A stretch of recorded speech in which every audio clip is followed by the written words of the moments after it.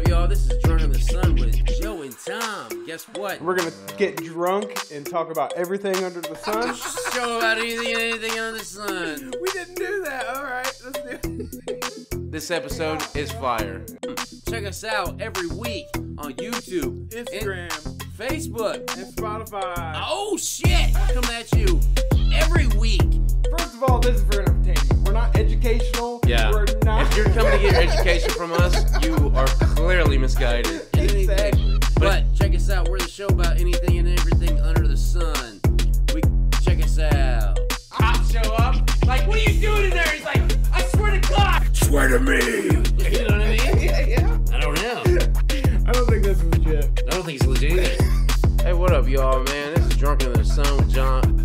I said John? With John? No, it's Tom.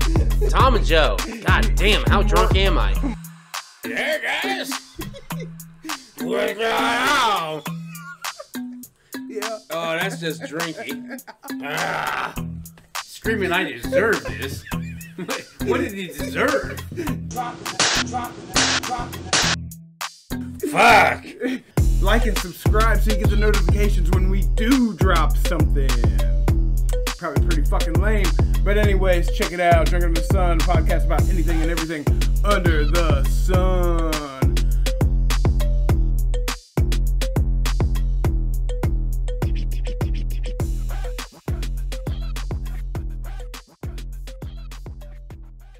Honestly, dude, but you know the opening scene to Endgame where it shows Hawkeye and his family? Yeah, yeah. That has got to be the one of the most tear jerking moments in all movie pretty- history. well, And, like to me, when I watch it, I, I go, Uh. it gets me every time. It's it's so good because it's like everything is everything. He's, they're having a great day. yeah. Everything's awesome. Then all of a sudden, what? what where's your mother? What? Hey, where? What? Where the fuck is everyone at? Like, Yeah. it's just gone. I mean, I can appreciate that, but the the one in Marvel that get got me the most was when Spider Man died. Oh, really? Tony Hawk. T- Tony Hawk. Tony Hawk. Tony Hawk. Tony Hawk was skating. I mean, Spider Man was skating in that movie, basically. when he was dying in front of Tony Hawk, that's that's what Tony Hawk's like, I got the half pipe bird. Really? That got you? Yeah, but I haven't watched it since. I mean, it's a good performance. Don't get me wrong, because he's like, man, man, Mr. Stark, and, and the thing was, and what I what comes to my mind, and I think I saw this somewhere. I think I read it somewhere or saw it somewhere. Is what people forget to realize is Spider-Man has a spider sense, so death would be like the most painful thing like going on. Yeah. Like he knows shit's about shit ain't right. Yeah, You know what I mean? Like, so he knows he's dying before he dies. That's fucked up. yeah. So yeah, it, it, that's pretty. That's I mean, it's a good pull, but That's really the only pull I got, and at least in the in the Marvel universe or anything like that. I mean, there's other scenes like the dumbest scenes make me tear up in movies, like the stupidest shit. I don't know. You can tear me up in movies if you do if you do it right. If you do it right, Oh, yeah, if it's I'm done gonna right, fucking, even I'm gonna cry. oh, yeah, Like I really am. I, I've cried a lot of fucking. oh yeah, like too. Jojo Rabbit. Oh my god.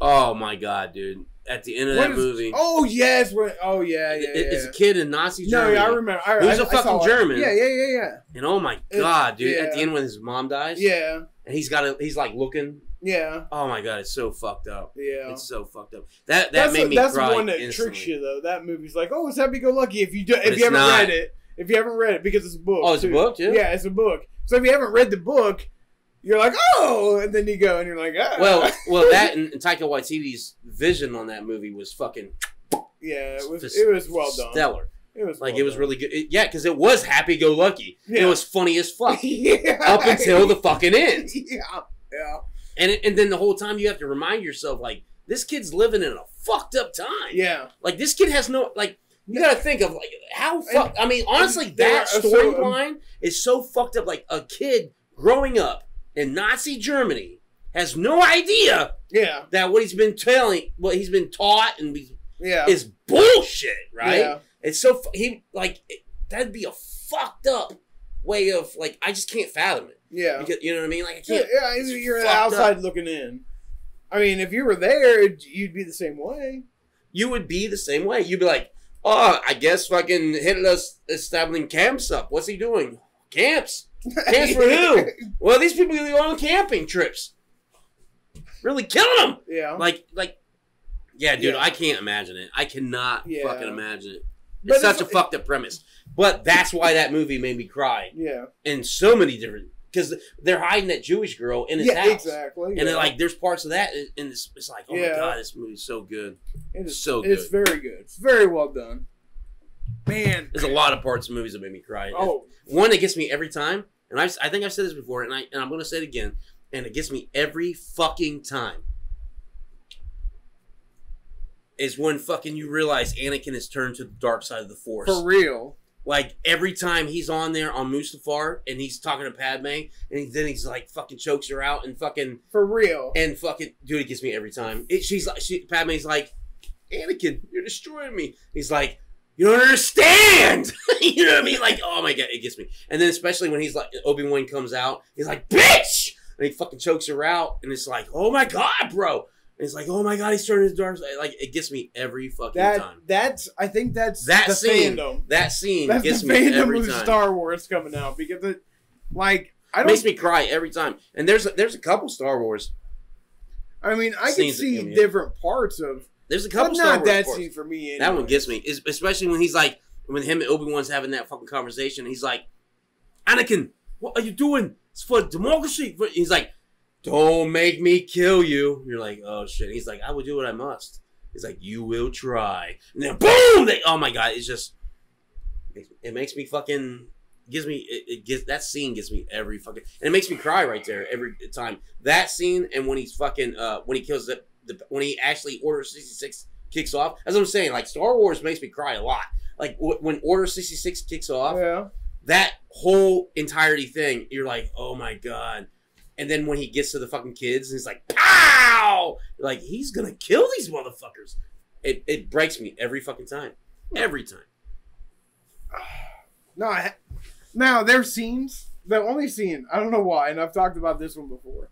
The only scene that's coming to mind at all is the scene in Snow Dogs with Cuba Gooding Jr. oh my god it's I don't think I've ever seen it. I know It's what movie you're talking about, worst. but I It haven't seen is so like it's shit like that. Like I bet I would probably maybe tear up when Old Yeller gets killed. Really? Maybe.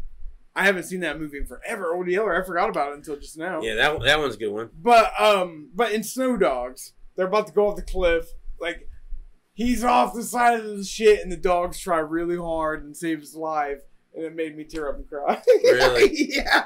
I'm telling you, dude. Like movies do that to you because but, because a good movie is going to draw you. Another one that does it to me every fucking time is um, oh, I just had it in my head. Oh, Batman. Batman Begins when Bruce Wayne's mom and dad get killed, oh yeah. and Bruce Wayne's dad's talking to him. He's like, "Don't be afraid. Don't be." You're like, "Oh my god!" Like this kid just lost everything right there.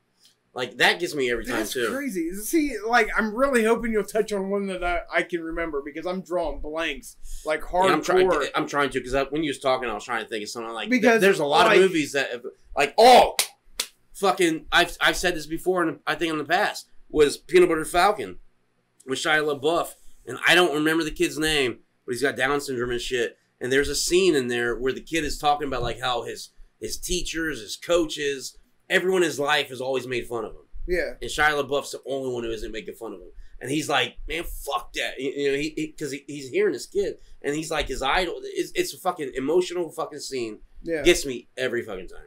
That's a great movie too. Oh yeah, yeah. I, I haven't seen it. I have seen parts of it, and I could see how it would be a great movie, but I, I haven't seen it unfortunately.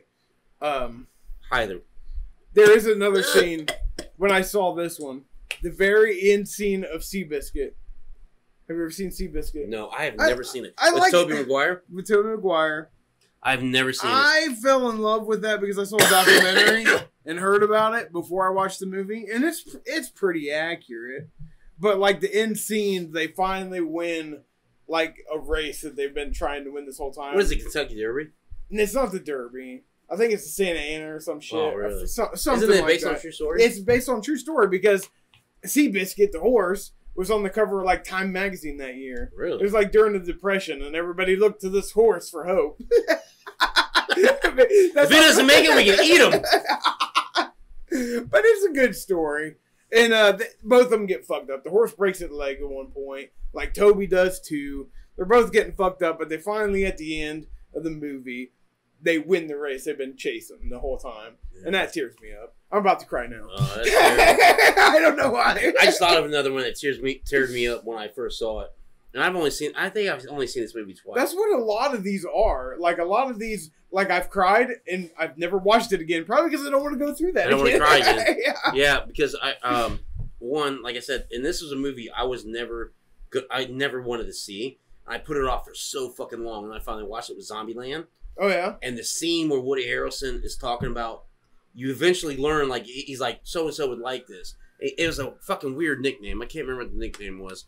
Um, but you, it sounded like he was talking about a, like a pet, like a Yeah. dog, the whole movie. Mhm. And then this one scene, he finally reveals that that was his nickname for his son, Oh wow. and he's like, and how he lost him was Oh, during yeah. the apocalypse. And Yeah. So he saw, you know, what I mean? it was. It's a fucked up scene. It's really, it's like holy shit. And Like- that one got me. Got it, me. it, it comes across almost out of place because that's a comedy, but they'll do that to you sometimes. Yeah, but it, yeah, but it, it's comedy drama because I mean you got to think It's it's, it's comedy inside of uh, apocalyptic Yeah. world. You know what I mean? So there's that.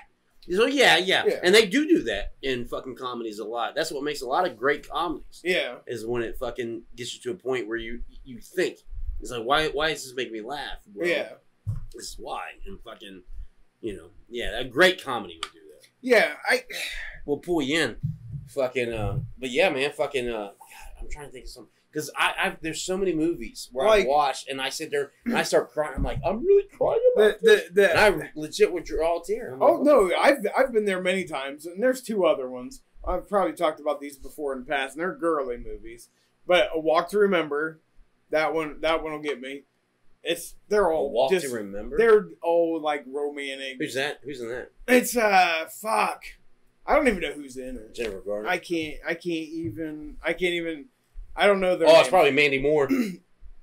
Mandy Moore is in it. Is it? It is Mandy Moore, but I can't remember the dude. I don't know who the dude Some is. Some guy. Some guy. He- Gyllenhaal. It's probably it's probably somebody that's people should know, but I don't remember his name. But anyways, yeah, it's him, and he's like a punk kid, and then they fall in love, and she dies because she's got like cancer or some shit. Oh shit. Yeah, and then uh, the Notebook, they both die at the end of that.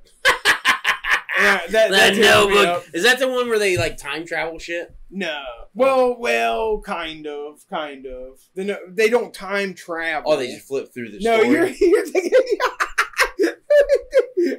what? Am I thinking of Bill and Ted's no, Excellent no, Adventure? No, no, no, no, no. Just go back in our history and watch the the summer house or whatever the fuck the short is. Oh, It's this big, the mailbox. The mailbox, yeah. Something like that. yeah, Yeah. check that out because that's what he's thinking all over again. Exactly what I'm thinking of. This notebook is Ryan Gosling and uh, And some uh, chick. Rachel. Uh, McAdam? No. no, Rachel Adams, Okay. not Mick Adams. Not the Mick. but Adams. yeah, There's a difference. there is. No, There it's it- Amy McAdams, ain't it? I don't- is it Rachel. Fuck if I know. I know it's Rachel Adams in that movie. Yeah. Because she's the same chick who played in Dead Eye with Cillian Murphy and her.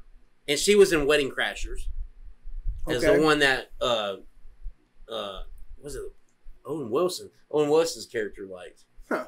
Rachel Rachel Adams. Okay, anyways. Maybe it is Mick Adams. I don't fucking There's probably a difference as there if there's a Mick or an Adams. But anyways. I don't know. I know it's not Rachel Leigh Cook. Yeah. I know it's not her. But anyways, at the end of that one it, it, it gets me there too. Oh yeah. But but because she has dementia in that. See, a lot Like- of Batman movies get me a lot of Are times. you dude. for real? Dude, Batman movies get me all the time. Like fucking uh what's there's I mean the fucking I already said the fucking uh the intro to Batman Begins. Yeah. That one gets me every time. Fucking uh There's a couple with Alfred. I don't remember him. I don't know. Maybe it's the anime series I'm thinking of. or or it could be Michael Caine, like crying. He's an old man. Old there's people make there's me some. Michael Hines. He, he does cry a lot. That's Master not- Wayne. That's not bad, but It's not good either. Yeah. It sounds like someone who's trying to do something stupid. or Sean Connery. A mix. Sean Connery sounds more like this, you son of a bitch. Oh no, Goldfinger.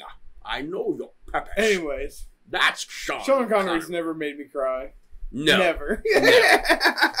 The last James Bond made me cry. I never. I watched. I, I watched it, man. It, uh, what the fuck I hear he supposedly dies. He does. It's not supposedly. It happens, and I'm like, oh my god, they just killed James Bond off. I'm like, you fucking It's kidding me? about damn time. James Bond's awesome. I love James Bond movies. Uh, I I haven't seen I have all. James Bond movies.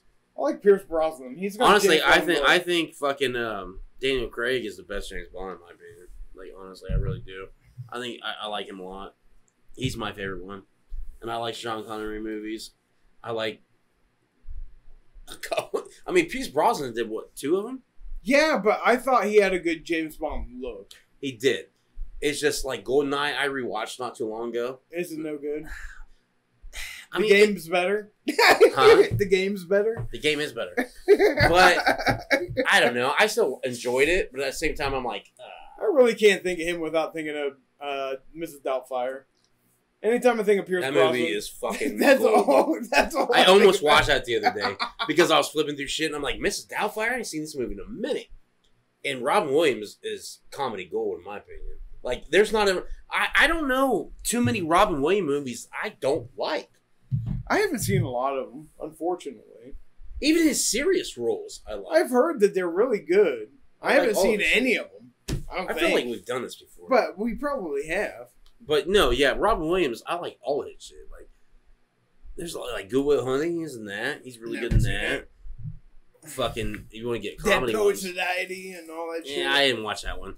Um, yeah, it's not funny. I did watch Insomnia, Insomnia with him and Al Pacino. Yeah, and that That photo, good. 24 hour photo. 20 I watched that haven't one. Seen that Um. But his comedies are fucking great too. Like fucking, I love like Miss Doubtfire, dude. That movie's a shit. Yeah. Good morning, Vietnam. That movie's funny as fuck, dude. um, there's all kinds of them. I yeah, Robin Williams just cracks me up. Oh yeah, for real. He's good, and I. But uh, unfortunately, but yeah, I but like crying, all of I don't know. I, I think I've came to a halt on. I think I. I think. Because- I but have I've too. cried. Now I know I've cried at a thousand Oh, me too. different it movies. happens, and the it'll problem is I just can't. It's just not coming to my Yeah, head. we're. It's too on the spot. Thanks for tuning in to Drunk of the Sun. This is Joe and Tom. Thanks for watching. Thanks to everybody. Like and subscribe. Thank you all for subscribing and liking from Drunk on the Sun, the podcast about everything and anything under the sun. So check us out on YouTube, Facebook, Spotify, Instagram. We're posting new shit every week. See ya.